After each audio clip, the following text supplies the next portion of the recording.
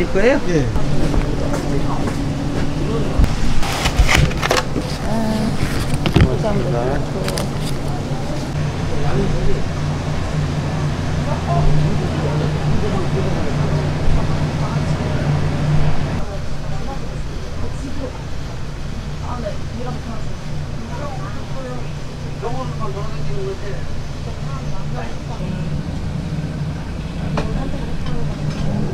진짜 이거 너무 착해